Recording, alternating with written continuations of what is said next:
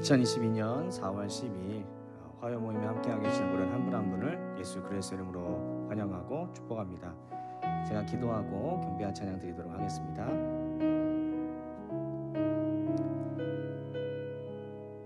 아버지 하나님의 그 은혜 감사하고 또 감사합니다. 우리를 주님께로 인도하시고 우리의 삶을 주님께로 인도하시는 또 우리를 사랑하셔서 우리를 그렇게 인도하시는 아버지 하나님의 은혜 감사합니다. 우리 아버지가 되어 주셔서 우리를 사랑하심으로 우리 인도하시는 아버지 하나님의 은혜에 감사하고 주님을 찬양하고 주님을 높입니다. 주님의 그 지속적인 은혜를 우리 삶 가운데 부어 주시고 성령님 우리를 주님께로 인도하여 주십시오.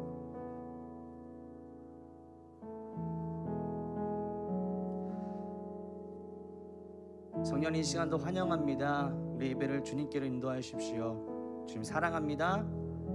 주님 감사합니다. 예수님의 이름으로 기도드렸습니다.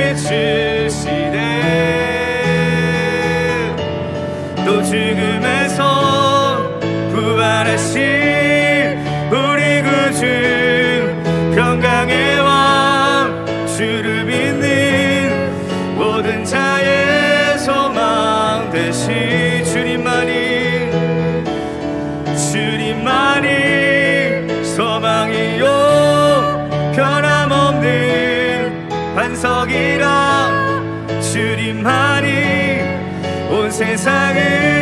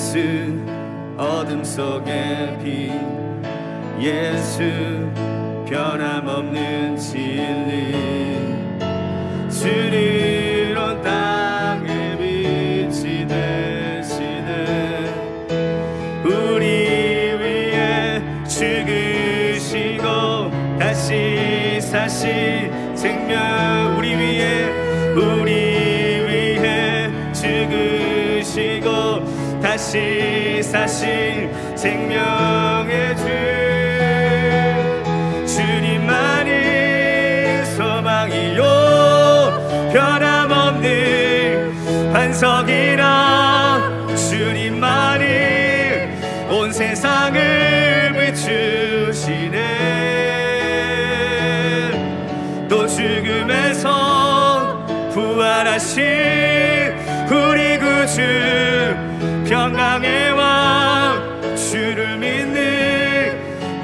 나의 소망 되신 주님만이 주님만이 소망이요. 변함없는 반석이라 주님만이 온 세상을 비추시네. 또 죽음에서 부활하신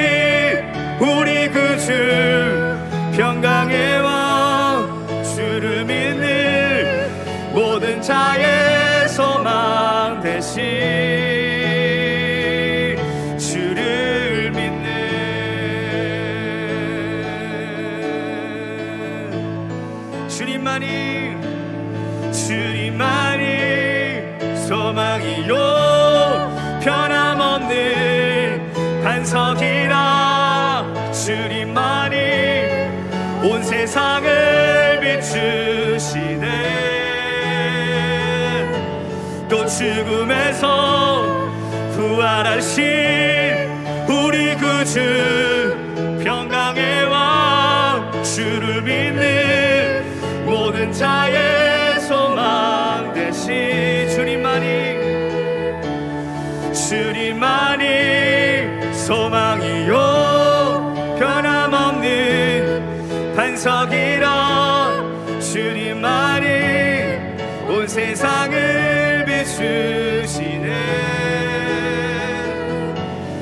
죽음에서 부활하신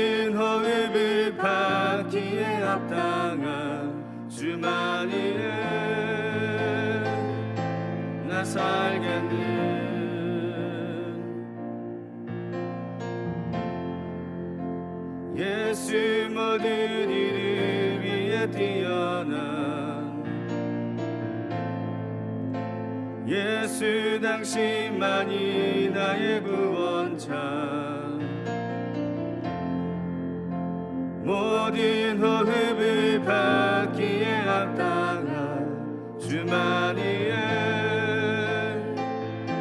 나 살게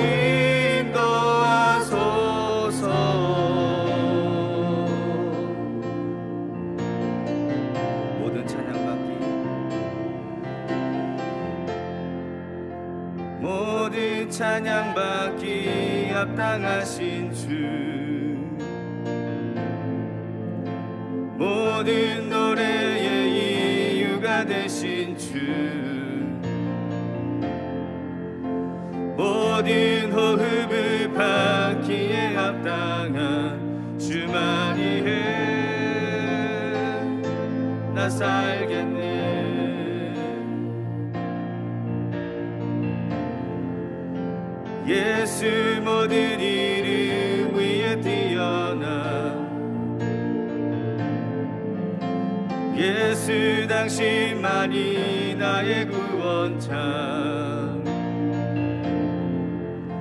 모든 호흡을 받기에 합당한 주만이에 나 살겠네 주만이에. 주만이에 나 살겠네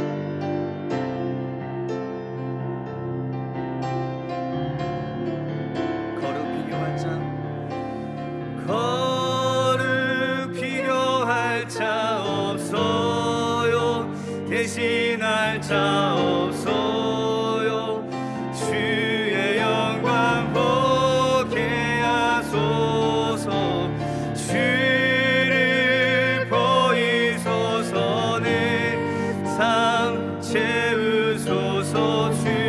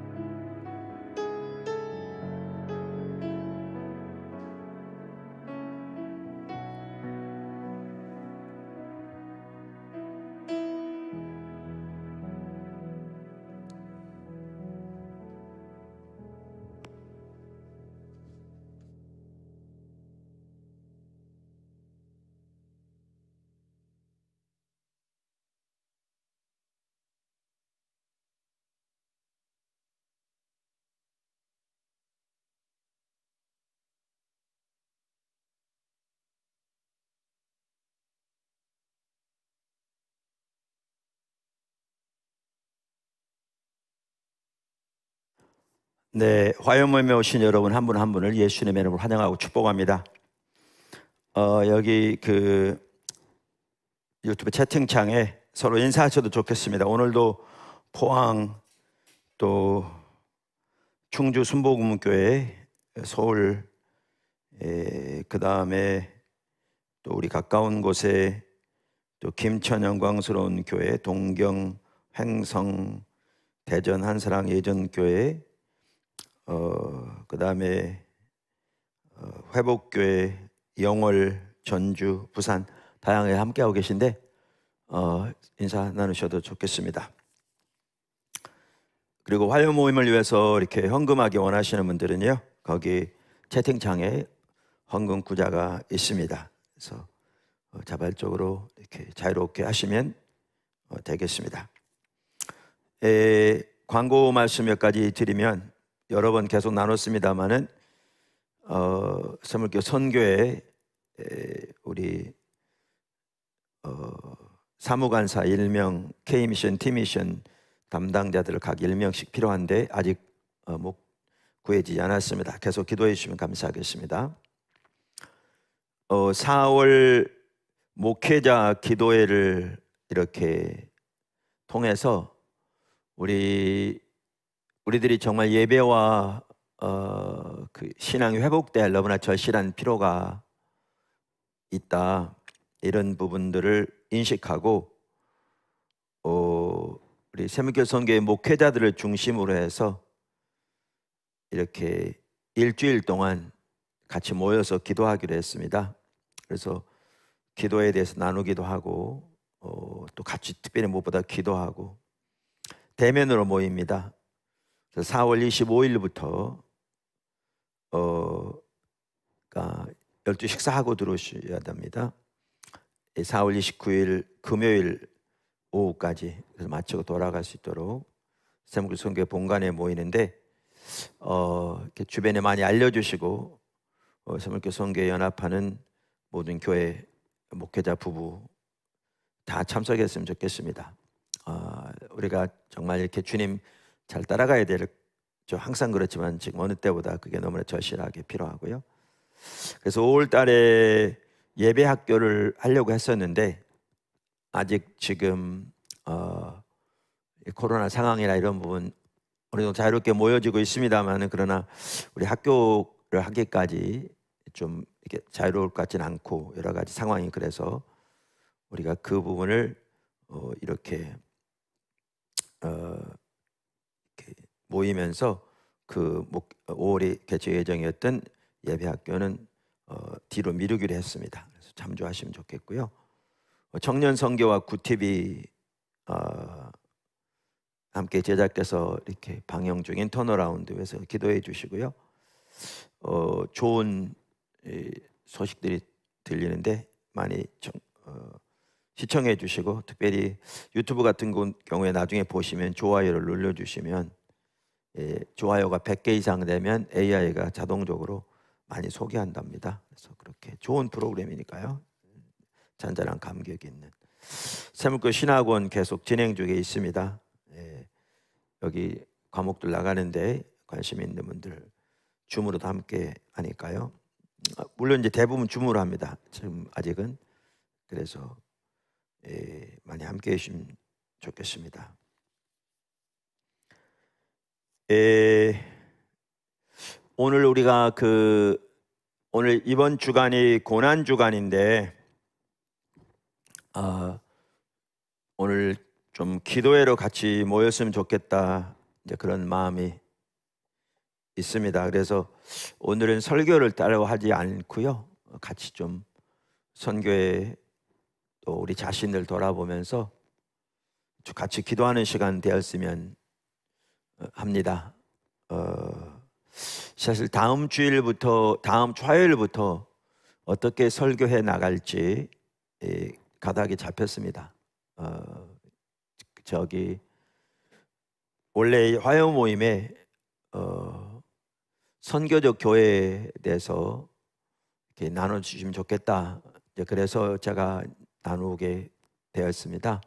어, 그러니까 하나님께서 우리를 지금 강력하게 인도하고 계시는 것이 선교적 교회를 인도하고 계십니다. 여러분 나눴지만 일터 사역부터 시작했는데 이제 쭉 주님 따라가다 보니까 결국 일터 사역을 포함한 선교적 교회로 인도하고 계신 게 보였고 너무나 선명하게 또 그게 성경 전체적으로뿐만 아니라 이 시대에 너무나 절실하게 중요한 핵심적인 부분이기도 하고 또 하나님께서 전 세계적으로도 이 부분에 대해서 더 깨닫게 하시고 많은 리더들에게 보게 하시고 이 부분들이 전파되어지고 어, 나눠지게 하시고 그런 상황에서 우리나라에서는 아직 이러한 부분들을 물론 선교적 교회란 말은 거의 유행이 되다시피 했고요. 요즘 선교적 교회가 해결책이란 말이 거의 그냥 어떻게 보면 정답처럼 거의 모든 사람이 할 만큼 목회자들 사이에서는 많이 퍼지고 있고 그렇지만 그 의미하는 선교적 교회가 뭘 의미하는가 라고 물으면 사람마다 이해가 다르고 명확하지 않은. 그리고 마이클 고인 박사가 말한 것처럼 그 신학적 깊이가 매우 얕은 그래서 일부 방법만 달리하는 이런 경우도 적지 않은 이런 상황인데 어, 특별히 우리 같은 경우에 레슬리 뉴비긴이 본 선교적 교회 그- 그는 선교적 교회라는 말은 표- 쓰진 않았지만 레슬리 뉴비긴이 본 그러한 선교 어, 또 복음 어, 교회의 소명 이러한 부분이 하나님께서 우리를 인도해 가시는 선교적 교회와 그 모습이 가장 흡사하더라고요. 거기엔 일터 사역이나 이 부분들이 이제 함께 추가되는 매우 중요하게. 또 문화의 구속 이런 부분들이 추가되는. 그래서 이제 이런 차원에서는 다루면서 이렇게 어, 적극적으로 이렇게 인도에 가는 경우는 우리나라는 어, 외국도 비슷하긴 합니다만은 많지는 않은. 그러나 이 부분은 로잔 중심으로도 그렇고 이 핵심적인 어, 복음의 우리 신앙의 또 교회 요소고 이 시대 어느 때보다 중요해서 이러한 부분에 대한 깊은 연구들도 특별히 여러 서구 교회 중심으로 또 이루어지고 있는 그러한 부분입니다. 그래서 이렇게 인도에 가면서 이렇게 어, 주일날 나누는데 어, 몇 번 나눴습니다만은 화요 모임에도 나누어서 이렇게 우리 성교 연합하는 교회들이 함께 예, 같이 갈 수 있도록 보았으면 좋겠다 하는 요청이 있어서 제가 화요일 날 기회 되는 대로 서서 나누기로 했습니다. 근데 나누면서 쉽지 않았습니다. 개인적으로는 뭐냐 하면 어차피 주일날 다 들어와서 보면 될 텐데 또 유튜브에 올라가 있는데 그랬는데 또 화요모 화요모로 모이니까 여기서 중요성을 이렇게 얘기해 주시면 또 많은 어, 선교의 목회자들이나 성도들이 또 도전을 받고 또 그 방면에 함께 할 수 있을 것 같다 요청이 있었는데 제가 어, 그 부분을 이렇게 나누기 쉽지 않았고요. 어, 그러다 보니까 이제 반복되는 경우도 많았고 물론 반복되면서도 더 이렇게 선명하게 보여지기 시작해서 심지어 이렇게 주일 예배는 말할 것도 없고 우리 포도남교 연합 죄송합니다 성교 연합하는 교회들 중에서도 목사님들 중에서도 화요 모임 말할 것도 없고 심지어 사목교 신학원에까지 배워가면서 이렇게 배워갈수록 시간 시간이 더 중요한 반복되는 것 같지만 그리고 시간 시간 더 선명히 깨닫게 되는 어, 이러한 일들이 어, 정말 있습니다. 당연히 이제 그게 중요한데 예, 그래서 지난번 기도회 때는 차라리 일부 한 분 같은 경우에는 어, 차라리 그러면 화요 모임에서는 어, 이렇게 다른 분들이 어, 저도 힘들어하고 또 시간적인 면도 그러니까 어, 십자가 복음 중심으로 계속 나누고 어, 이 선교적 교회에 대한 부분에 대해서 알기 원하는 분들은 어, 보도나무교회 주일 설교를 들으면 어떻게 했느냐고 이제 저를 위해서 건의하는 분도 계셨습니다. 근데 어, 더 많은 분들이 어, 이 시간이 너무 중요하다. 아까도 말한 대로 더 깨달아지고 더 선명히 보여지고 어, 그래서 계속 해주기도 요청해서 전반적으로 그런 분위기여서 그랬고요. 저 개인적으로도 이 시간마저도 이게 나눠지지 않는다면 저는 이게 모든 목회자가 정말 이 시대엔 더욱더 모든 교회가 반드시 그리로 가야 된다고 확신하거든요. 정말 중요한. 그런데 우리 삼교 성교 연합하는 교회들만 하더라도 목회자들부터 이 중요성을 인식하지 못한 것 같더라고요. 때로는 인식하더라도 배울 부분이 매우 많아요. 저 개인적으로도 어, 제 나이가 얼마큼 되는 때가 마시잖아요. 그런데 정말 이런 부분 배워가면서 머리가 터지는 것 같은 어떨 땐 신학교 다닐 때도 배우지 않았던 내용들. 그런데 주님의 인도를 따라가려면 어, 선택의 여지가 없기 때문에 절박 고민하면서 배워가거든요. 그래서 성교 연합하는 교회 목사님들도 이게 너무나 필요하고 정말 중요한데 제가 보기에는 많은 분들이 중요성을 못 보는 것 같아요. 혹은 심지어 적지 않은 분들이 무관심한 저 같은 경우 제가 보기엔 너무나 안타까운 일이죠. 혹은 중요성을 인식하더라도 배우는 게 쉽지 않은 여러 가지 이유가 있겠지만 그런 상황에서 이 시간마저 내가 안 하면 그 부분 안 나누면 어, 정말 이 너무나 중요한 하나님의 인도하심 강력하게 인도하고 계신데 그러면 선교회적으로 아주 소수를 빼놓고는 관심도 없이 너무나 멀어지는 그러면 선교회가 하나님 인도하시는 정말 강력하게 인도하시 이 부분에 너무나 멀어지는 소수만 따라오는 그럼 거기에서는 갭이 생겨서 일부는 적극도 안 하고 일부는 전혀 이렇게 다른 방향에 주저앉아 있는 이렇게 될 수 있겠더라고요.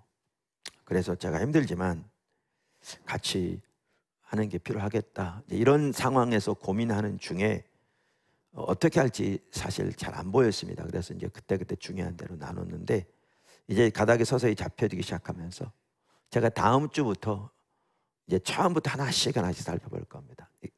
이런 부분들을 어, 그러니까 제가 제가 책을 이렇게 쓸 거거든요. 그래서 어떻게 보면 책을 써가기 시작할 겁니다. 자세한 건 다듬더라도 처음부터 하나씩 하나씩 어, 책을 쓰듯이 어, 화요 모임이 이끌어 가려고 합니다. 그래서 어, 이렇게 뭐죠? 여러분 모두 이렇게 기도해 주시고요. 또 특별히 주변에 많이 알려서 함께 했으면 좋겠고요. 어, 우리 포도나무 주체들도 당연히 주일날 쭉 가지만 이제 새롭게 또 정리해서 이 부분을 이렇게 쭉 나눌 때 더 선명히 보여지는 너무나 중요한 계기가 될 거니까 당연히 앞장서서 그렇게 함께 하면 좋을 것 같고요. 또 성교의 목회자들은 특별히 이 부분에 꼭 함께 했으면 적극적으로 배워갈 수 있었으면 어, 좋겠습니다. 그래서 그렇게 하려고 하고 사실 제가 오늘 그래서 오늘 일이 나눌 부분에서는 말씀이 이렇게 따로 뭘 나눠야 할지 확신으로 주어지지 않아서 제가 다른 분에게 부탁을 할까 그런 마음을 가졌는데 주님이 그냥 절대로 인도하기로 원하시더라고요.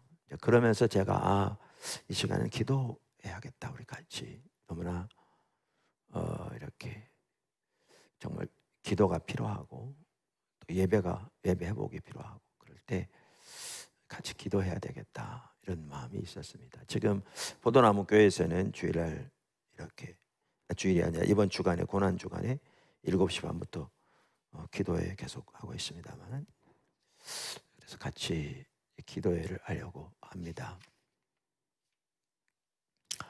어, 그래서 그 오늘 좀 같이 기도하기 원하는데요. 어, 예, 먼저 그 우리 선교회를 위해 기도하겠습니다. 그러니까 지금 어, 우리 선교회를 위해 기도하고 또 하나님의 인도하신 대로 잘 따라갈 수 있도록. 그러니까 이제 이런 것 같아요. 어제 우리 이제 보도나무께 기도에도 나눴지만 이렇게 하나님께서 우리를 인도해 가실 때 어, 저는 이제 하나님께서 선교적 교회로 우리를 강력하게 인도하고 계신다라고 말할 때 저는 개인적으로 제가 설교하니까 내가 보기에 이게 중요하다고 생각하니까 여러분 잘 따라오세요. 이거 하나님 인도하시는 겁니다. 이런 차원에서 말하는 게 전혀 아닙니다. 전혀 아니고요. 제 개인적으로 여러 가지 환경을 통해서 또 여러 가지 성령의 강력한 임재를 통해서 어, 여러 상황 가운데서 성령께서 강력하게 구체적으로 이 부분을 인도하고 계시고 저 개인적으로도 또 이 부분에 더 중요성을 더 선명히 보게 하실 뿐만 아니라 하나하나 그 연구 과정까지도 강력하게 인도하신 걸 제가 확신하면서 이렇게 말씀드리는 겁니다. 그냥 한 얘기가 아니고요. 그냥 한 얘기가 아니고 그래서 이렇게 성령께서 강력하게 인도하고 계신데 문제는 어, 이게 배우는 게 쉽지 않습니다. 배우는 게 쉽지 않습니다. 한 예를 들면 그 제가 이렇게 쭉 어, 이런 여러 책들을 보고 가면서 그 이야기의 중요성을 이렇게 보겠더라고요. 그래서 이런 책을 읽으면서도 거기 이야기 중요성이 나오면 그것도 이렇게 기록해 놓고 이 책에 나오면 기록해 놓고 이 책에 나오면 기록해 놓고 이제 그렇게 하면서 그런데 이제 레슬리 뉴비긴만 하더라도 이 중요성을 선명히 보았더라고요. 정말 귀한 하나님의 사람이거든요. 그러니까 학자기도 하고요, 선교사기도 하고요. 너무나 귀한. 그래서 제가 이 중요성이 보여져서 성도들에게 이 부분을 나눴는데 포도남 교회마다 몇 주 전에 그 레슬리 뉴비긴의 세, 네 가지 핵심적인 요소들을 나누면서 이야기를 일부 나눴거든요. 그리고 어 뭐죠? 그제 말고 그 전주 또 이야기 세계관과 이야기에 대해서 이야기 전체를 또 그 시간 전체를 그 두 부분에 대해서 나눴거든요. 근데 제가 이제 교회에서 나눴지만 또 화요일 지난 시간 나눈 것 같기도 하네요. 일부 예배 때 이렇게 잘 나눠졌는데 2부 예배 같은 경우에는 나누긴 나누는데 나누다 보니까 적지 않은 분들이 그냥 마음을 놔버린 이쪽 한쪽 귀를 듣고 한쪽 귀를 흘려버리는 예, 집중을 하지 않는 거의 듣기를 포기한 이런 게 이제 딱 느껴지더라고요. 정말 힘든. 예, 그래서 제가 그런 부분 설교하다 나누고 또 축도를 마치고도 그 부분을 나누고 그러니까 저 개인적으로 정말 힘들었습니다. 왜냐하면 설교 시간을 통해서 우리 목회자들은 다 그런데 하나님의 의도하신 바가 강력하게 선명이 되지 않고 설교가 끝났다. 정말 힘들거든요. 정말 힘들거든요. 그래서 이제 그날 저녁에 잠을 제대로 못 잤다 지난주 얘기를 했잖아요. 잤어요. 근데 제가 깊이 잠을 못 들었다 그 얘기죠. 아, 잠, 잠 들었어요. 근데 생각이 막 온갖 생각이 들으니까 꿈은 아닌데 뭐 제가 죽은 것 같이 누워 있고 근데 내가 옆에 보니까 나는 아닌가 막 이런 일들까지 막 이거 그랬다 그랬잖아요. 아침에 일어나서도 마음이 너무나 무거운. 그러는 중에 그 부분에 대해서 이렇게 선명히 보여지고 어떻게 정리가 되면서 제가 지난 화요일 날 그 부분 나눴거든요. 그랬더니 또 많은 분들이 또 주일날도 듣고 그랬지만 어, 정말 귀한 시간이었다. 이제 그러면서 그제 어, 그 부분에 또 덧붙여서 전체를 이야기돼 나눴거든요. 정말 귀하게 함께 하신 시간이었습니다. 그제 그 부분을 이렇게 설교를 안 들으신 분들은 꼭 들으셨으면 좋겠습니다. 그런데 어 그제 포도나무 교회 우리나라의 큰 어, 기독교 방송국의 한 방송국의 사장님, 선교, 선교본부장님, 국장님, 부장님 우리 교회 방문했거든요. 근데 그 사장님만 하더라도 기자 출신인데 어, 미국 워싱턴 특파원, 청와대 특파원 등 핵심적인 요직은 다 거친 분이더라고요. 그런데 에, 또한 신앙은 정말 뜨거운 아주 귀한 분이시대요. 그래서 너무 감사했어요. 앞으로도 그 방송 하고도 우리 청년 선교나 또 세물교 선교 포도나무교 전체적으로 귀한 협력이 있지 않을까 이렇게 추측이 돼요. 좋은 교제가 될 것 같고요. 아주 귀한 시간이었어요. 기도해 주셔서 감사하고요.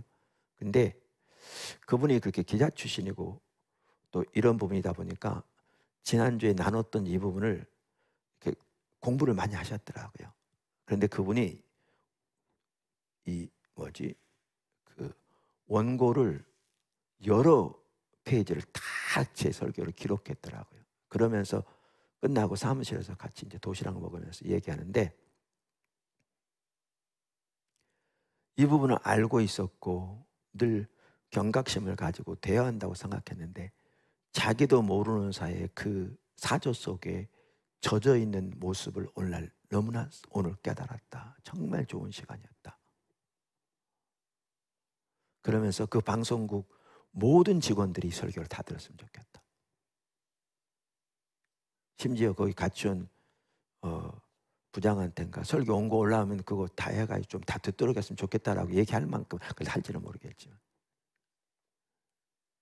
특별히 초대교회로 돌아가자 초대교회로 돌아가자 많이 얘기를 하는데 제가 얘기 중에 그 말은 거의 언급도 하지 않았지만 초대교회는 로마, 로마 의 이야기를 따라 살지 않았거든요 박수 로마나 제가 얘기하면서 그걸 거부했거든요 그 하나만 하더라도 어떻게 오늘날 우리가 살아갈지를 너무나 선명하게 한마디로 보여주는 감격하시더라고요. 그러면 심지어 그분은 여기 포도나무교회 부지가 넓은데 사실 하나님이 이런 일을 하고 계시고요. 지금 이미 그리고 앞으로도 하실 거죠. 거기에 이런 이런 센터 같은 걸 만들어서 사람들이 어떤 목표가 흐릿해지고 비전을 잃고 방황할 때 와서 여기서 이렇게 회복되고 돌아갈 수 있는 그런 곳이 있었으면 좋겠다. 지금 우리가 그 일을 하고 있잖아요. 앞으로도 할 거고. 그러면서 개인적으로 정말 위로가 됐습니다. 제가 말하고자 하는 게 뭐냐 하면 이렇게 정말 중요한 한 부분 한 부분이 다뤄지는데 이게 이제 쉽지 않은 거예요. 왜냐하면 이런 분을 일반적으로 성도들이 거의 이렇게 뭐지 어떻게 보면 배우지 않았잖아요. 특별히 교회에서는 뭐 배워 본 적이 없잖아요. 일반적으로. 그러니까 적지 않은 사람들이 귀를 기울여 들으려고도 하지 않는. 또 듣다가도 이게 뭔 말인지 모르겠는. 그러다 보면 짜증만 나는. 특별히 코로나 시대 신앙이 침체되고 타락하다 보니까 집중 자체가 싫은. 그런데 이런 말 듣다 보니까 그냥 때로는 한쪽 귀로 듣고 한쪽 흘려버린. 그냥 마음을 놔버린. 그러면서 이제 여러 가지 불평도 있을 수 있는. 그런데 중요한 건 그거거든요. 하나님이 앞서가신다면 우리는 그런 자세로 하나님이 앞서가심을 저를 따라오는 차원이 아니라 하나님이 저를 강력하게 이끌고 가시면 앞서가시면 이 부분을 말하는 거죠. 저도 때로는 엎어지고 코 깨지고 주님의 은혜를 구하면서 다시 힘을 내서 따라가고 그러는데 이 부분을 그렇게 소홀히 할 게 아니거든요. 제가 원고까지 올라가 올려가면서 계속 정말 이렇게 오이코스해서 때로는 그거를 요약해서 다시 살펴보면서 나누고 또 어떤 교수는 돌아가면서 그걸 준비해서 하다 보니까 설교를 두 번, 세 번 드려야 되고 이걸 보고 그러면서 이제 많이 깨달아지고 막 시야가 넓어지고 삶에서 변화가 있고 거기다가 이렇게 성도들 들어보니까 삶의 현장에서 하나님이 실제로 일을 해 가시는 경우도 있더라고요. 너무나 놀랍게.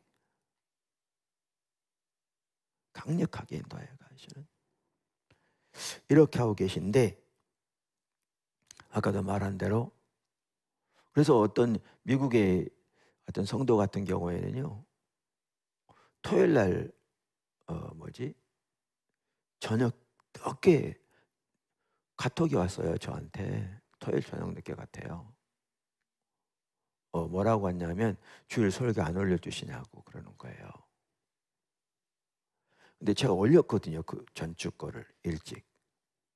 그래서 올렸 것 같은데요. 라고 답했더니 조금 이따 다시 문자가 왔는데 그 나라 거기 토요일 시간인 같은 잘 모르겠어요. 그거 뭐 중요하지 않으니까 잠이 들었다가 주일을 얼마나 기다렸는지 그날이 주일인 줄 착각한 거예요. 그리고 저한테 문자를 보냈던 거예요. 그러면서 주일이 기다려진다고. 그리고 이 시리즈를 통해서 하나님께서 정말 이루신 변화는 글로 표현하기 힘들다고 얘기하는 만큼 일부는 소개하면서 그런데 적지 않은 사람들이 어려운 거죠. 근데 이제 이때 제가 나누고자 하는 게 그겁니다. 어려울 수 있고 저도 어려운데 일반 성들 중에 저보다 뛰어난 사람도 많지만 많은 분들은 얼마나 더 어렵겠어요? 어렵겠어요. 근데 이제 문제는 여기에 중요한 게 배우고자 한 자세인 거죠. 이게 핵심인 거예요. 이게 없으면 완전히 꽝이거든요. 그러니까 늘 말한 대로 조나단 에드워즈가 말한 대로 어느 시대는 하나님께 쓰임 받으려면 하나님의 하심이 무엇인지 주시해서 보고 그 일에 온 사람은 동참해야 한다. 이게 여기 문제 배우고자 자세도 이렇게 기본적으로 갈려 있는 거거든요. 주시해서 보는. 그래서 그분은 심지어 그 당시에 큰 항구로 이사를 했다고 그랬잖아요. 예를 들면 유럽 같은 그때 이제 부흥의 세계니까 18세기 유럽에서 많은 부흥들이 일어났었잖아요. 거기 올 때 아마 제가 추측하기에는 그 유럽에는 어떤 일이 일어났는지 영국에는 아일랜드에는 웨일즈에는 어떤 일들이 일어나고 있는지 유럽 대륙에는 그거를 이렇게 듣기 원하는 그때는 뭐 라디오나 뭐 TV나 비행기나 이런 게 없던 시대니까. 그만큼 하나님의 어떤 행하심을 보기를 주시한 주시한. 그래서 제가 이번 기도회 때도 나눴는데 이사야 66장 그에 보면 이렇게 말하거든요. 1절 보면. 여호와께서 이와 같이 말씀하시되 하늘은 나의 보좌요 땅은 나의 발판이니 너희가 나를 위하여 무슨 집을 지으랴? 내가 안식할 초소가 어디랴? 이 말은 성경 전체적으로 볼 때 성전이 안 중요하단 말이 아닙니다. 성전은 매우 중요했습니다 매우 중요했습니다 그 말이 아닙니다 어, 진정한 마음의 자세와 태도 그래서 하나님의 뜻을 알아 그 가운데 함께 하기를 열망하고 하나님의 계신 곳에 함께하기를 추구하는 그 삶, 그 삶에 예배가 없는 그 자세가 없는 의식만 남는 성전 의식을 강력하게 지탄한 거죠. 네, 강력하게.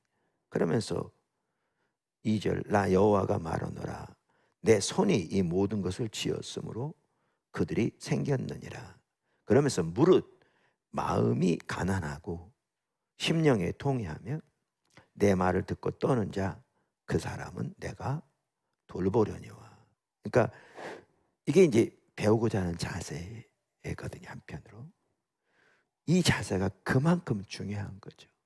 그러니까 이게 있어야 예배도 올바로 되는 것을 보여주는 거예요. 이게 없으면 예배가 올바로 될 수가 없는 거죠. 그래서 바로 그 다음 절을 보면 제가 예배복 새벽에도 아마 기록한 걸로 알고 있는데 소를 잡아 드리는 것은 살인함과 다름이 없이 하고 어 그러니까 다름이 없고 그런 뜻입니다. 에, 다름이 없고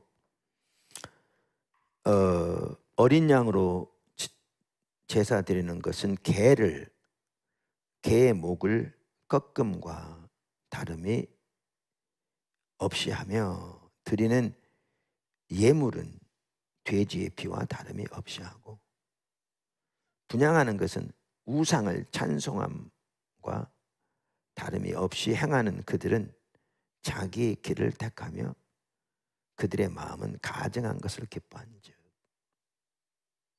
그러니까 여기에 보면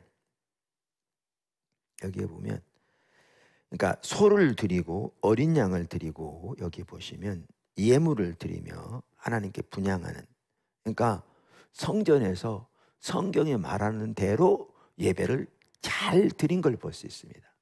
근데 그 예배를 뭐에 비교하고 있느냐 하면 살인에 비교하고 있고 개 목을 꺾는 그러니까 개는 혐오스러운 동물로 인식됐거든요. 근데 제물을 드릴 때 피를 쏟아 드리게 돼, 드리게 돼 있잖아요. 그래서 심지어 짐승을 잡을 때도 피채 먹지 못하게 하기 위해서 목을 꺾고 이렇게 하는 것을 구약 시대는 금했거든요. 그랬는데 개의 목을 꺾어 드리는 제사에 비유했고요. 또 하나님께 드린 예물을 돼지의 피를 가지고 제사 드리는 것에 비유했고요.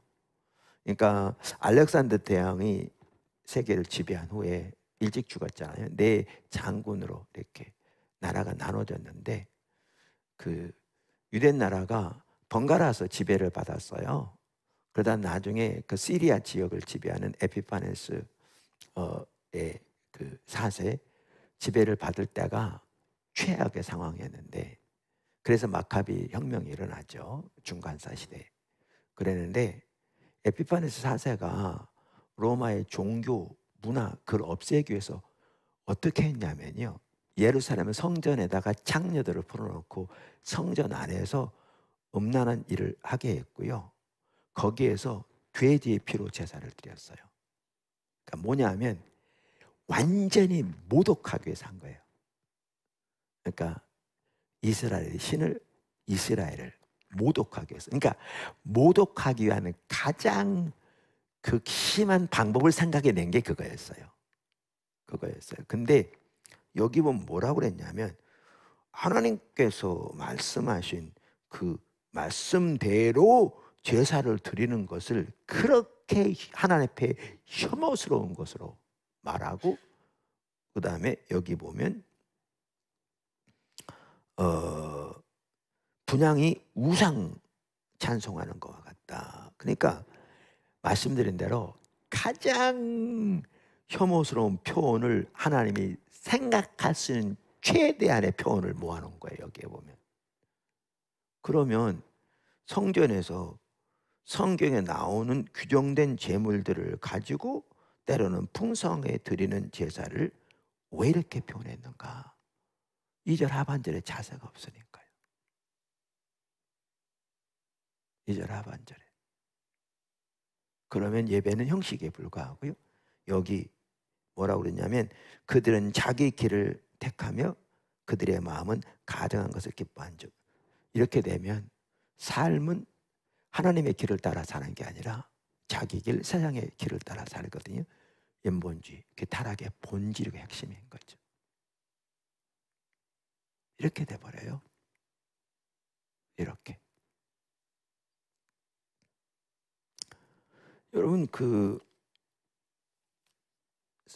사도행전 7장에 보면 시대반을 그 당시 유대인들이 핍박할 때 시대반이 구약의 역사를 쭉 살펴가면 하나님 어떻게 일해 오셨는지 그러면서 예수님을 증거하는 데까지 나가는데요. 쭉 구약을 살펴보다가 어디까지 딱 나오느냐면요. 어디까지 나오냐면 우리가 지금 읽은 이사야서 66장 2절 상반절까지 딱 말합니다. 2절 상반절까지.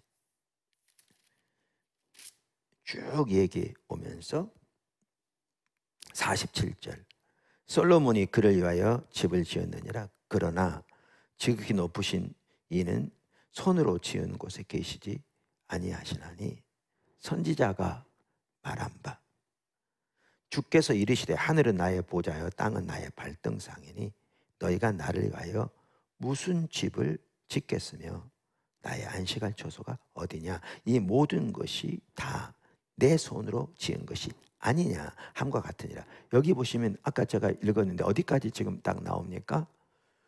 이사야서 66장 1절과 2절, 2절 상반절까지 딱 나옵니다. 그리고 거기서 딱 멈춥니다.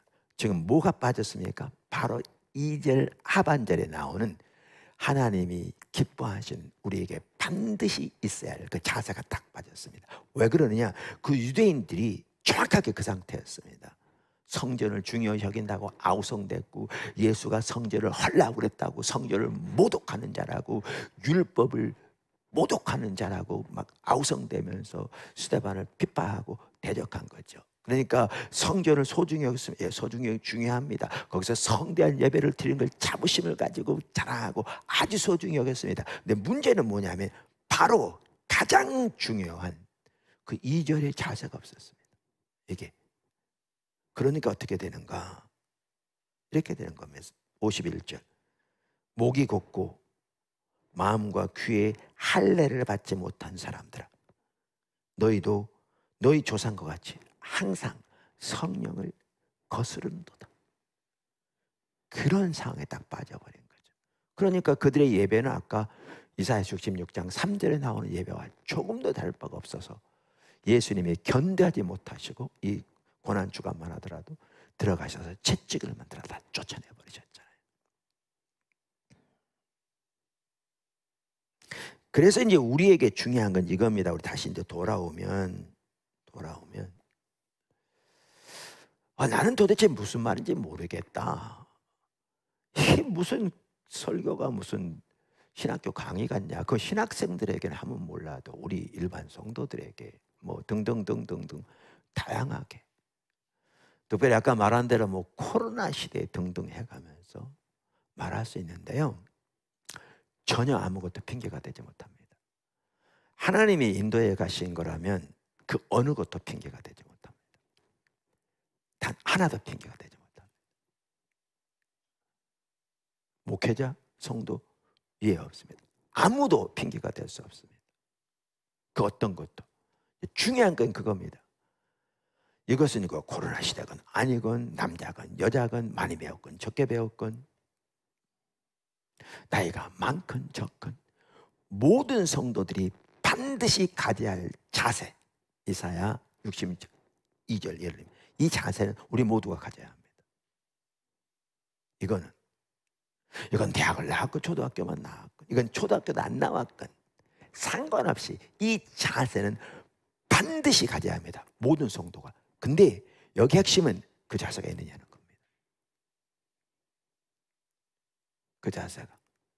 그 자세가 있어서 그 자세를 가지고 그렇게 주님의 행하심을 주시해보고 주님을 따라가기 원하고 주의 길을 알기 원한다면 아무리 배운 게 없어도 주님이 중요한 것들을 깨닫게 하실 겁니다.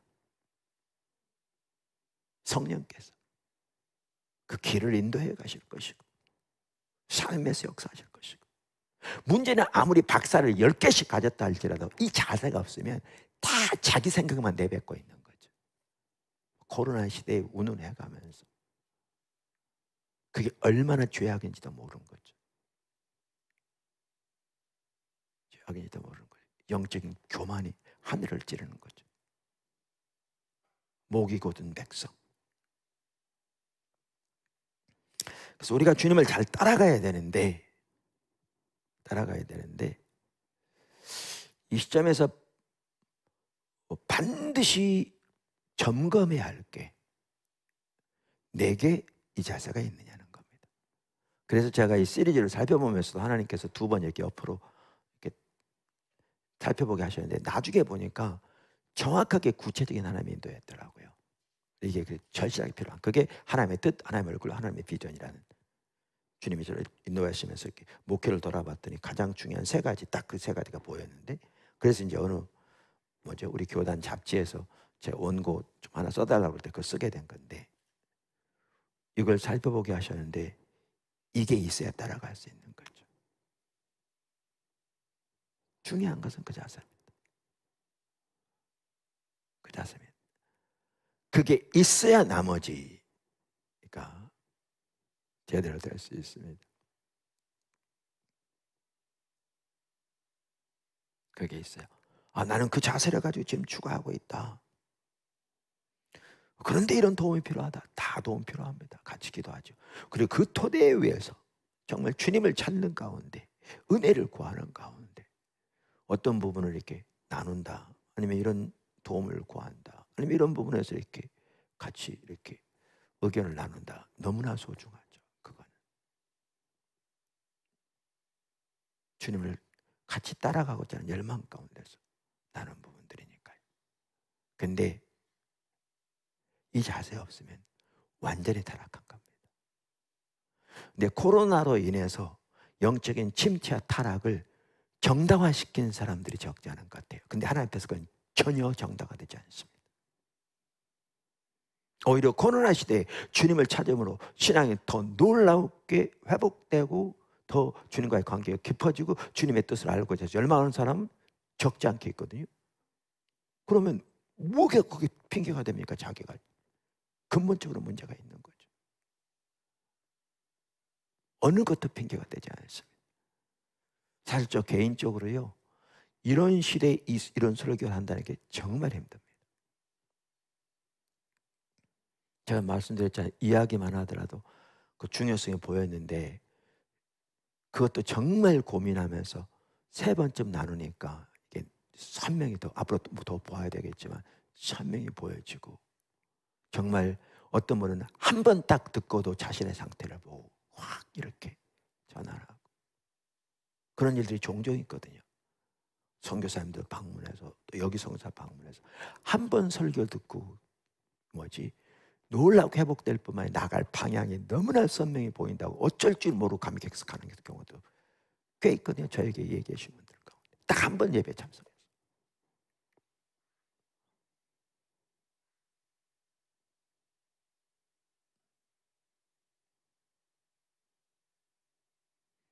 그래서 저 개인적으로 참 힘듭니다. 지금 제가 세계관을 살펴보려고 하는 게 어제도 나눴습니다만 자연주의 세계관 그것의 문제점 그 자연주의 세계관은 사실 깊이 그 하나하나 진정으로 살펴보면 허무주의로 빠질 수밖에 없게 돼 있습니다. 사람들이 무시하고 살아서 그렇지. 진지하게 그걸 받아들이면 허무주의로 빠질 수밖에 없습니다. 그래서 많은 어, 어떤 분은 데카르트는 필연적으로 니체를 낳게 돼 있다 그렇게 얘기도 합니다. 그리고 그 허무주의 세계관에서 벗어나려고 인간적으로 바등바등 노력한 게 실존주의입니다. 실존주의 세계관. 그 자연주의 세계관에서 인생 예를 들면 인생의 의미는 전혀 없는데 실존주의는 있다고 그냥 선택하자 그겁니다. 없는데 있다고 선택하자 그겁니다. 웃기는 거죠 한마디로 말. 그게 포스트 모더니즘으로 옮겨갑니다. 근데 이 부분은 성도들에게 좀 포기해야 될 것 같은 마음이 저는 자꾸 듭니다. 기도하면 주님은 그걸 나누기를 원하신 것 같습니다. 제가 그냥 어려우니까 막 계속 저 자신도 이런 부분에 계속 배워가는 입장에서 그것도 주일날. 근데 주님의 제가 이해하기로 주님은 반복적으로 살펴보기를 원하십니다. 근데 그게 쉽지 않다는 겁니다.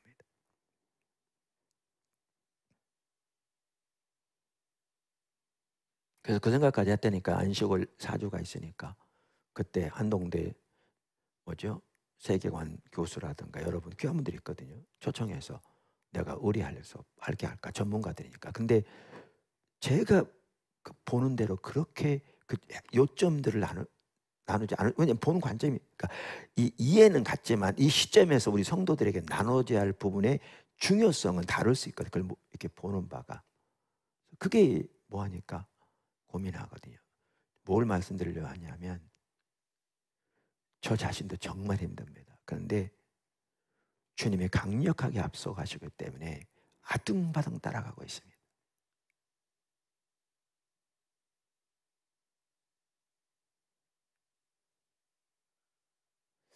사실 오늘 여러분은 어떻게 생각할지 모르지만 오늘 찬양 시간에 저 같은 경우에는 딱 불나게 돼 있는 것 같았어요. 아예 들어가지 못하던. 그래서 전혀 저 개인적으로 예배를 드지 못했습니다. 딱 막아진 것 같았어요. 여러분 예배 잘 들으셨습니까?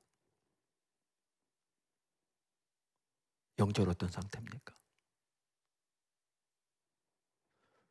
여러분 예배는 혹시 이사야서 66장 3절과 같지 않습니까?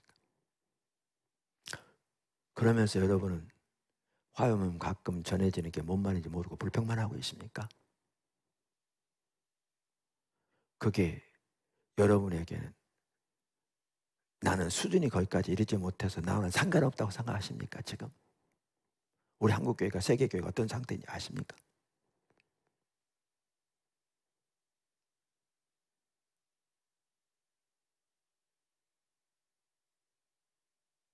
그렇다면 여러분의 예배는 절대 올바로 될 수 없습니다. 절대 올바로 될 수 없습니다.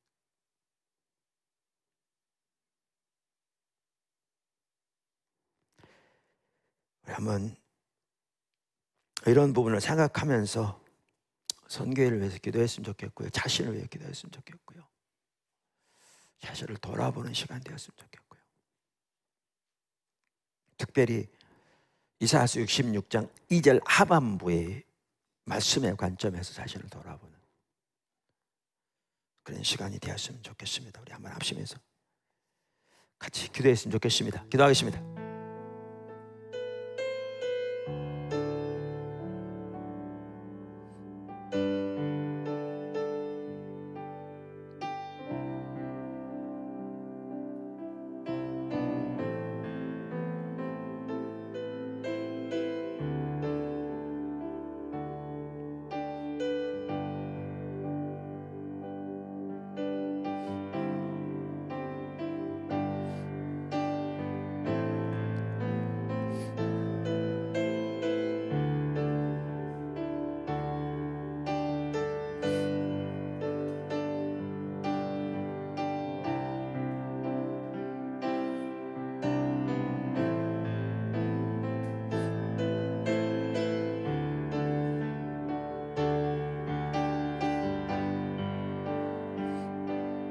예수 그리스도의 보혈의 공로만 의지해서 이 시간 하나님의 내 보호자 앞에 섭니다.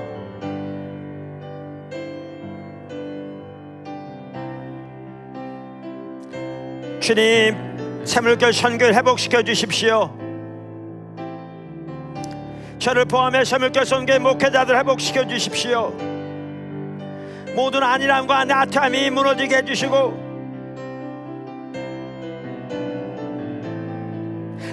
이사야서 66장 2절 하반절의 자세를 가지고 우리 자신을 살펴보게 도와주셔서 우리가 하나님 앞에서 올바른 마음의 자세 가운데 주님의 주님을 추구하며 주님의 길을 알기를 열망하며 그 가운데 있는지 보게 해 주십시오. 그 자세 없이 자신의 생각으로 판단하고 흘려듣고 무관심하며 관심 없는 것이 얼마나 하나님 앞에서 심각한 죄악인가를 깨닫게 해주십시오. 주님이 오셔서 놀라운 일 행하셨음에도 피를 불어도 춤을 추지 않고 나팔을 불어도 춤을 추지 않고 피를 불어도 곡하지 않는다고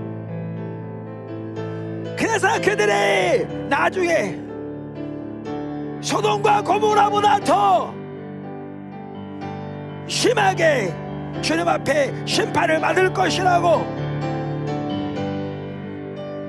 하나님께서 앞서가실 때 무관심한 자체가 얼마나 심각한 죄악인가를 깨닫게 말씀하셨는데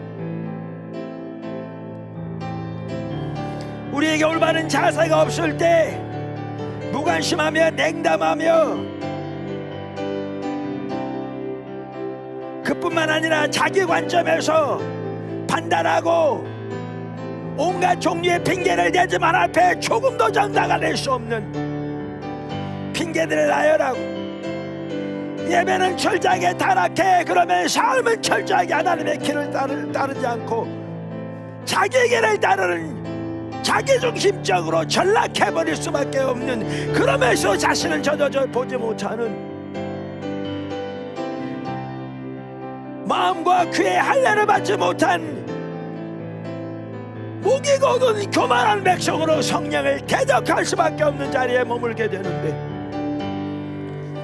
그러면서 자신을 정당화시키며 자신을 전혀 보지 못하는 타락이 하늘을 찌르는 자리에 머물 수밖에 없는데 우리 자신을 돌아볼 수 있도록 도와주십시오. 삼일교 선교연합하는 모든 교회 목회자들 저를 포함해서 우리를 돌아볼 수 있도록 은혜를 주시고 모든 성도들 우리를 돌아볼 수 있도록 보도나무교회 모든 지체들을 포함해서 우리를 돌아볼 수 있도록 아버지 은혜를 부어 주십시오.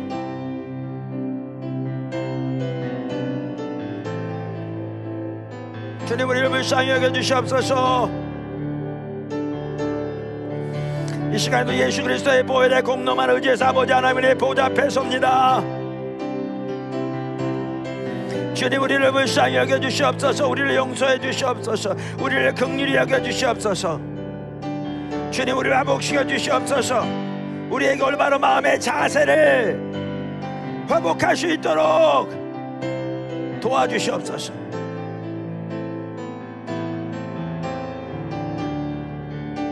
도와주시옵소서 주님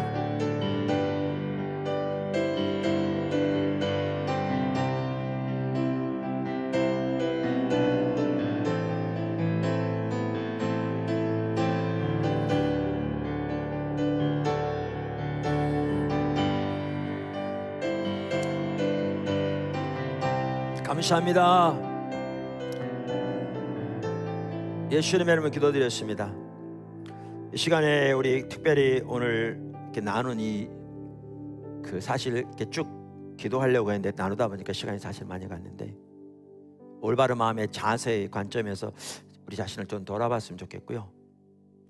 지금 그렇게 기도했고 어, 다시 한번 기도할 텐데 자기를 돌아보면서 그 자세가 없는 분들은 회개하시고요. 또 그 자세를 갖기로 결단하시고 하나님의 은혜를 구하셨으면 좋겠어요. 그래서 그런 분들은 자기 가슴에 손 얹고 기도하셨으면 좋겠고요. 그 다음에 제가 이렇게 말씀드리면 이런 얘기들을 개인적으로 이렇게 뭐지 이렇게 어뭐 뭐라 그럴까 잘못 오해하지 마십시오. 어, 그건 또 죄를 짓는 겁니다. 그러니까 이, 이럴 때 어, 제가 뭐 얘기하려고 그러냐면 저를 개인적으로 뭐 이렇게 저렇게 얘기한 거 괜찮습니다. 어, 글쎄 괜찮지 않을지 모르지만 뭐 그럴 수 있습니다. 근데 하나님이 인도하시는 것을 판단하지 마십시오. 그건 엄청난 죄를 짓는 겁니다. 제가 제 임의로 뭘 하는데 그것에 이런 죄를 얘기하는 것은 뭐 그럴 수 있습니다. 근데 하나님이 강력하게 인도하시는 것을 전혀 깨닫지도 못하고 알지도 못하면서 아까 그 자세가 없으니 영적인 분별이 가려진 상태에서 함부로 판단하지 마십시오. 이게 이스라엘 백성들이 범했던 죄입니다. 내가 모세다 그 얘기도 아니고 내 말 반드시 드려야 됩니다. 그 얘기도 아닙니다. 저를 아시잖아요. 또 그렇게 얘기한다면 더 심각합니다. 정말 심각합니다. 그런 얘기 안 해요. 그런데 하나님의 인도에 가신 걸 함부로 판단하지 마십시오. 그건 심각한 죄입니다. 그건 회개하셔야 합니다. 회개해 회복되든지 말든지 하죠. 회복되든지 말든지. 그래서 그런 분들 계시다면 반드시 회개하시고요. 하나 회개하시면 저한테도 문자 하셔서 용서해 달라고 하시면 제가 용서하고 축복한다고 문자 드리겠습니다. 네. 이 시간에 그 마음을 돌아보면서 결단하실 시간이 되었으면 좋겠고요. 한 번 더 기도할 텐데 이 부분 말씀드린 대로 하나님의 인도하심을 전혀 아까 말한 그 자세를 가지고 이렇게 주님을 찾는 가운데 전혀 분별하지 못하고 함부로 판단하거나 또 의역하거나 이런 게 또 올바르지 못한 마음의 자세를 가졌다면 여러분 자신을 위해서 회개하시면 반드시 회개하시기 바랍니다. 우리 이 시간에 한번 그 부분을 놓고 구체적으로 기도했으면 좋겠습니다. 기도하겠습니다.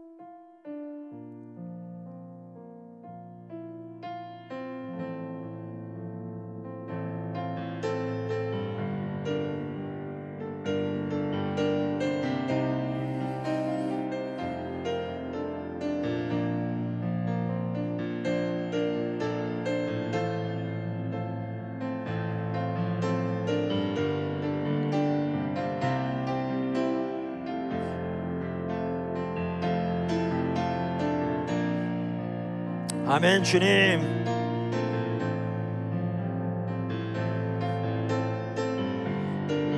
예수님의 별로 우리를 씻어주십시오.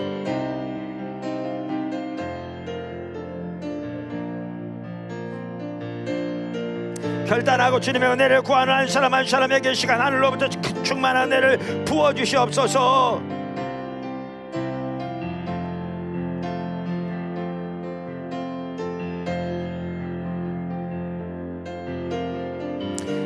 죄를 용서해 주시고 우리 한 사람 한 사람의 죄를 용서해 주시옵소서.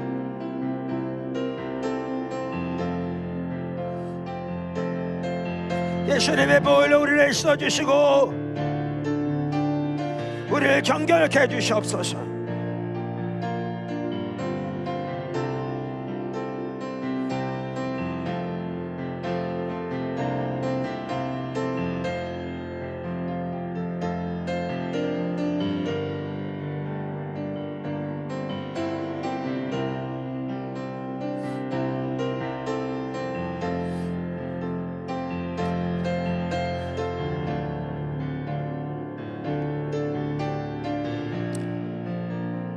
사람 한 사람 회개한 죄가 용서받았음을 나타낸 예수님의 이름으로 선포합니다. 하나님의 말씀에 기초해서. 그 죄의 모든 영향력을 거두어 주시고 영적인 분별력을 회복시켜 주시며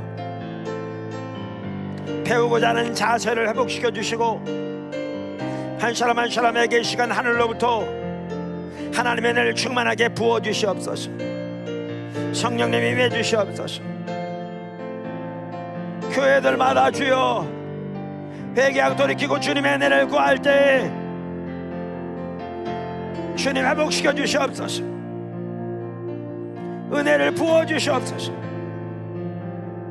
성령이 충만하게 임해 주시옵소서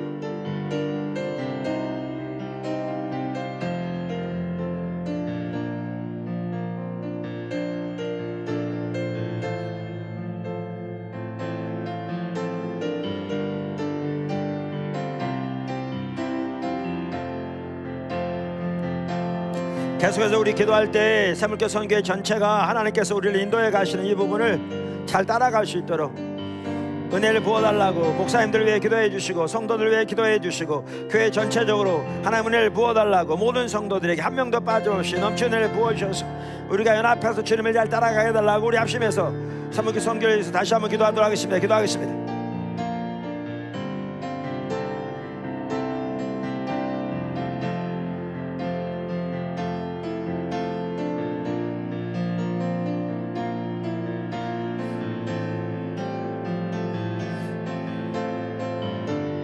감사합니다 주님 삼일교 선교를 예수를 축복합니다 연합하는 모든 교회들을 예수를 축복합니다 모든 목사님들을 예수님 축복합니다. 사모님들을 예수님 축복합니다. 각 가정들을 예수님 축복합니다. 모든 성도들을 예수님 축복합니다.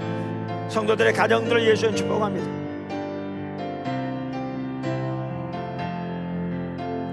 하나님의 뜻, 하나님의 얼굴, 하나님의 비전 정말 알기를 추구하는 가운데 주님의 인도를 따라 힘을 다해 우리가 연합해서 주님을 따라갈 수 있도록 그 은혜를 회복시켜 주시옵소서. 모든 교회들 가운데 모든 성도들 가운데 모든 목회자들 가운데 그 은혜를 회복시켜 주시옵소서. 아멘 주님. 그 은혜가 회복되길 예수를 축복합니다 주님의.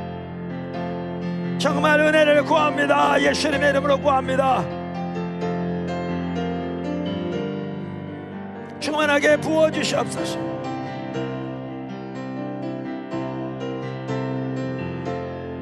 주님 사랑합니다. 주님 영광 받아 주세요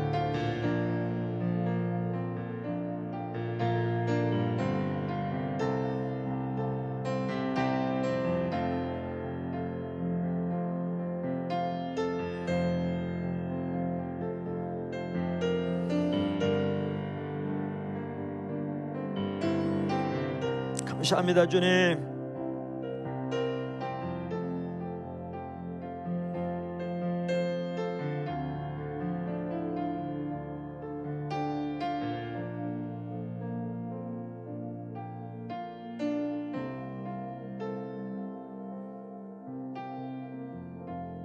예수님의 이름 기도드렸습니다. 어, 다시 한번 말씀드리는데 우리 그 세무교 선교회 연합하는 교회 목회자 부부 4월 25일 월요일 오후부터 29일 금요일 오후까지 세무교 선교회 본관에서 모입니다. 주변에 많이 이렇게 권면하시고 또 격려하셔서 그러니까 모두가 참석해서 정말 주님을 찾고 우리를 돌아보고 우리의 예배와 신앙이 회복되는 정말 절실한 필요 가운데 있잖아요. 어, 그 시간이 되도록 적극적으로 힘써 주시고 우리 모든 성도님들은 우리 목회자들이 그런 시간이 될 수 있도록 지금부터 적극적으로 기도해 주시면 감사하겠습니다. 하나님께서 우리 기도를 들으시잖아요. 감사합니다. 오늘 이렇게 예, 중요한 자세를 돌아보게 하신 것 같습니다. 또 이런 부분들이 돌이켜지고 올바로 돼야 우리의 예배도 더 깊어지고 나눔도 의미가 있고 그렇습니다. 그래서 하나님께서 그 일을 하고 계신 것 하신 것 같고요. 어, 제가 오늘 여기서 마칠 텐데 또 다음 주 화요일부터 우리 또 주의 길을 잘 배워가시면 좋겠습니다. 이번이 어, 고난 주간이고 또 다음 주가 부활주일인데 어, 주님의 더 큰 은혜가 여러분 가정마다 함께하기를 교회마다 또한 함께하기를 예수님의 이름 축복합니다. 기도하겠습니다.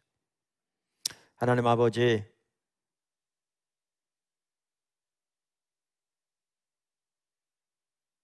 정말 우리를 불쌍히 여겨 주십시오.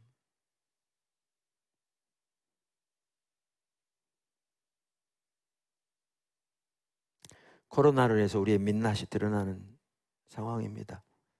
그러면서도 우리는 그것이 우리의 현 상태를 정당화시켜 준다고 자만하고 있습니다. 자유하고 있습니다. 우리 용서해 주십시오. 깨어날 수 있게 은혜를 베풀어 주십시오. 우리가 너무나 영적으로 혼동되어 있습니다. 주님을 찾지 않고 우리 예배가 회복되지 않고 회복되지 우리 예배가 회복되어 있지 않고 우리의 마음의 자세가 옳지 않기에 온갖 혼돈이 우리 가운데 있습니다. 방향을 잃고 목표를 상실하고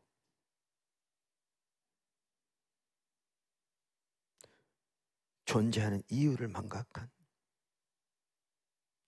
상태입니다. 그러니까 삶은 더욱더 세상 중심적이고 철저하게 자기 중심적이면서도 그 사실도 인식하지 못하는 자신은 전혀 보지 못하고 상대방만 판단하는 것이 목에까지 찼는데 깨닫지도 못하는 죄를 밥 먹듯 먹고 살고 있는데 그것이 죄인지조차 인식하지 못하는 광야 생활을 이스라엘 백성처럼 하나님의 인도하심을 틈날 때마다 불평하며 원망하고 있으면서 그것이 그토록 심각한 죄인지도 인식하지 못하고 있는 우리의 상태입니다. 주님 저를 그리고 우리를 용서해 주십시오. 예수님의 보혈로 써 주십시오. 깨닫게 주셔서 깨닫는 대로 회개하고 돌이키고 깨닫는 대로 회개하고 돌이키고 깨닫는 대로 회개하고 돌이키고 이것이 반복되어져야 우리 영적인 분별력이 조금씩 회복되어지고 우리가 나갈 방향을 조금씩 더 깨닫게 되고 올바른 마음의 자세도 더 회복되어질 텐데 그 은혜를 우리에게 부어 주십시오. 이 시간만 가지고 되지 않습니다. 지속적인 은혜가 필요합니다. 날마다 뿐만 아니라 또 모여서도 그렇게 주님을 구해야 할 그러한 절실한 필요 가운데 있습니다. 지속적인 은혜를 우리에게 부어 주시옵소서.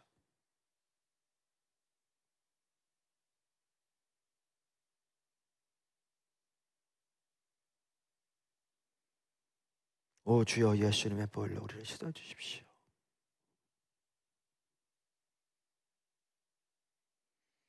예수님의 보혈로 우리를 정결케 해 주십시오. 우리의 눈을 치유해 주십시오.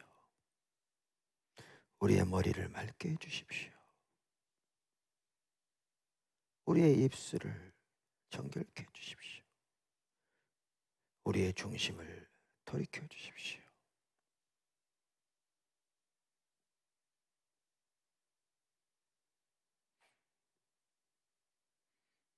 오직 예수 그리스도의 십자가 보혈의 공로만 의지해서 아버지 은혜의 보좌 앞에 나와 주님의 은혜를 구하오니 우리 한 사람 한 사람에게 그 은혜를 부어 주시옵소서.